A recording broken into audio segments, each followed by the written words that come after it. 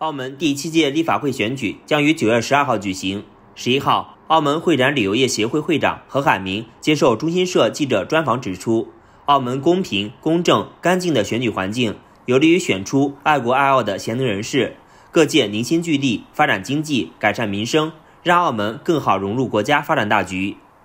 九月十一号零时起，澳门第七届立法会选举宣传活动进入冷静期。记者在澳门街头看到。所有参选组别和助选人员的宣传品都已依据相关法律规定拆除，和海报啊，全都都拆下来了，所以非常准时，而且很多宣传呢，大家都注意遵守法规，所以这种法律的意识在选民中，在选举候选人之中已经建立起来了。我们一定要选举一些既爱国爱澳又有贤能的啊，有这这种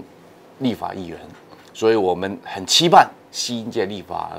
会的组成，也希望他们为澳门呢未来的这种啊发展符合中央啊，包括澳门社会的期待，做出了一些这个工作。二零一六年，澳门特区政府对立法会选举法进行了修订，其中规定，拒绝声明拥护中华人民共和国澳门特别行政区基本法和效忠中华人民共和国澳门特别行政区者，或事实证明不拥护中华人民共和国澳门特别行政区基本法。或不效忠中华人民共和国澳门特别行政区者，无备选资格。二零二一年七月，澳门特区第七届立法会选举管理委员会依据上述法律规定，取消了部分参选人的选举资格。对此，何海明指出，澳门的繁荣稳定得益于“一国两制”的成功实践。因为澳门呢，历来啊，我们都说了，它有爱国爱澳的传统。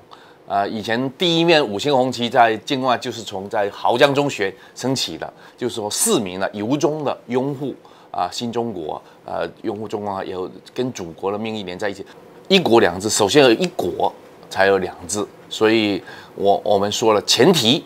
呃你一定是我们说中华人民共和国在澳门特别行政区的基本法，这个是理所当然的。澳门立法会选举法修订以来，没有了选举议题政治操弄的现象。议题更聚焦于经济民生，施政顺畅，经济不断发展，市民安居乐业，社会繁荣稳定。何海明说：“澳门的命运和祖国紧紧相连，澳门历来有爱国爱澳传统。所谓颜色革命，在澳门没有土壤，没有市场。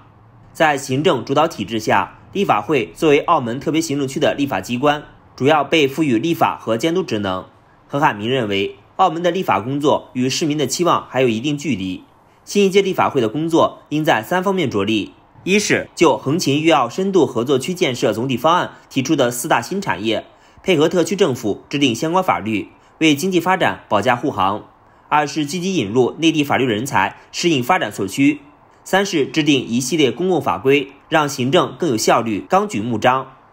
贺海明还注意到，本次有许多年轻人参选，每个组别都有各自不同的关注议题。他说：“这次选举给了年轻人展示才能的舞台，即便他们本届没能当选，我也希望他们提出的一些积极主张能被特区政府采纳。”何海明说：“横琴是澳门和内地合作的第一站，也是澳门融入国家发展大局的第一站。我们期盼新一届立法会能为澳门未来的发展有更多积极作为。”